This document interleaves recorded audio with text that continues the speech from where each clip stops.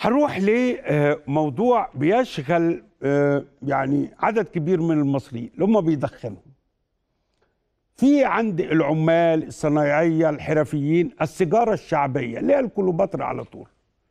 والكليوباترا دي ما بقتش موجودة.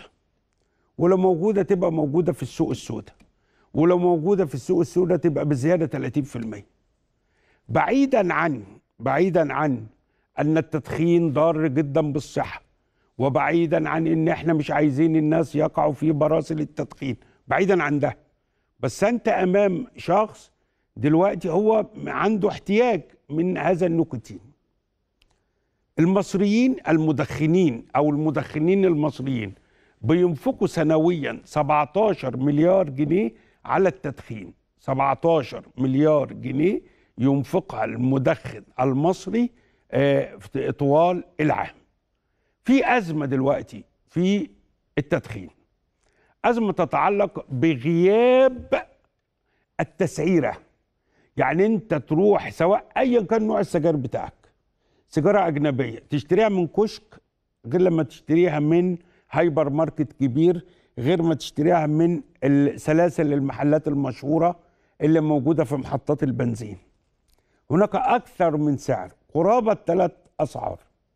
المواطن المدخن خاصة الغلبان اللي بيشرب الكليوباترا دي آه، بيقول لك أنا مش لاقيها. وبضطر أدفع من 12 ل 15 جنيه زيادة في العلبة. وبيضطر دلوقتي بقى في ظاهرة بالمناسبة أنا أعرف إن ظاهرة الفرط السجاير الفرط بتبقى في السجاير المحلية. بس وصلت للسجاير الأجنبية. يعني اللي غاوي سجاير أجنبية ما بقاش معاه فلوس يشتري العلبة العلبة بقت قرابة 65 جنيه. فيروح يشتري 3 4 سجاير كده. مش قادر يدفع ال 65 جنيه. وده اللي هو كان مقتدر وبيشرب آه، سجاير آه، أجنبية. فدي ظاهرة لابد لها من حل. في أكتر من شخص متداخل. في تاجر في موزع آه، وتاجر تاجر جملة تاجر تجزئة في بياع. تعالى نروح للدكتور هاني أمان العضو المنتدب رئيس مجلس إدارة شركة الشرقية للدخان. مساء الخير دكتور هاني. أهلا وسهلا. زي حضرتك؟ أخبارك إيه؟ أنا مش دكتور الحقيقة بس يعني سعيد جدا إن أنا أكون مع حضرتك النهارده. الله يخليك.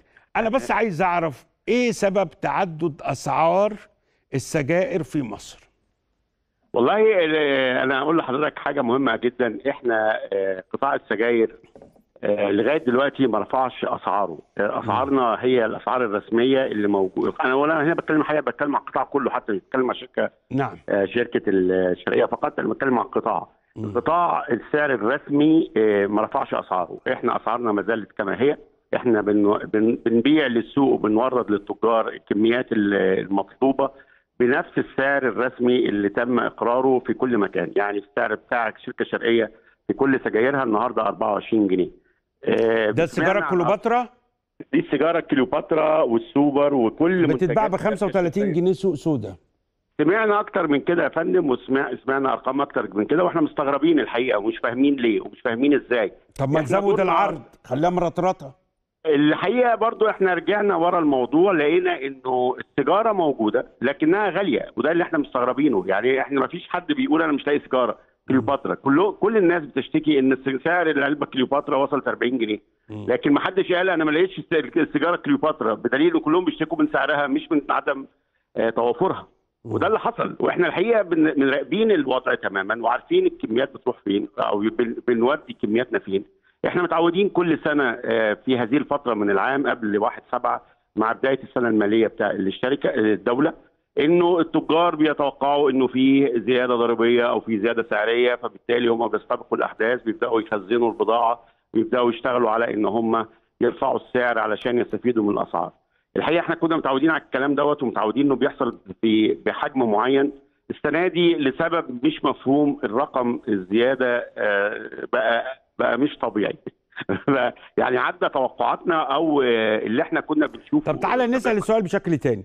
هل. الكمية المطروحة من سجائركم المحلية تكفي حجم الاستهلاك اليومي تكفي حجم الحصة السوقية بتاعة الشركة الشرقية يعني أقصد أقول يا فندم إحنا إحنا إحنا لو نزلنا ثلاث أضعاف الكميات اللي إحنا بننزلها النهارده هتتسحب وهتتخزن وهتستخدم في وقت آه، لاحق بعد يعني تصورا إنه في زيادة سعرية فبالتالي ان التجار هيستخدموها ما تنساش أيضا إن في بعض مدخني السجائر الأجنبية نتيجة آه. ارتفاع السعر آه،.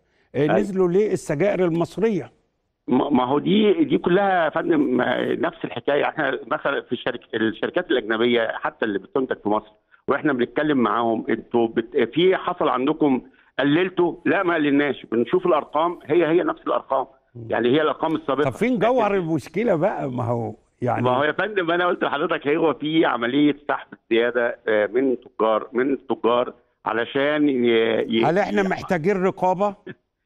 آه، وإحنا الحقيقة شغالين مع أجهزة الرقابة وفي التموين وفي الأجهزة الأخرى علشان ي- يساعدونا في هذا المشكلة. أنا كشركة أنا مش مستفيد نهائي من زيادة السعر. طبعا. والدولة خسرانة.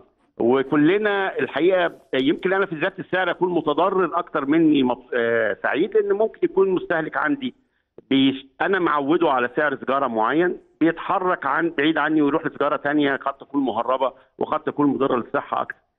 ده ده شيء يضرني مش يسعدني. عشان طب ما تعمل لي منافذ معتمدة آه، وتبقى بتباع فيها السجائر بالأسعار الرسمية. اللي إحنا متعودينه يا فندم إن الموضوع دوت دايما بياخد بقى وقتي بيعدي شهر ستة وسبعة. يعني الموضوع الثاني ده موضوع كبير إن أنا نعمل له استثمارات. لكن بنفكر فيه إزاي إزاي نوصل له يعني. وده غالبا هتكون في آه، بنحاول في خلال الشهر الجاي إن شاء الله يكون في أخبار كويسة بعد العيد نسمع أخبار تانية عن هذا الموضوع. إن إحنا نحاول نشوف آه، نوصل إزاي. طبعا في ناس آه، كانت بره الصناعة وبره تجارة ال- ال- السجاير ابتدينا نشوفهم بيخشوا. ابتدى يجي لنا مكالمات واعتداءات على الموظفين بتوعنا من من ناس بيجوا بس في أوقات الأزمة علشان يستفيدوا من فرق السعر.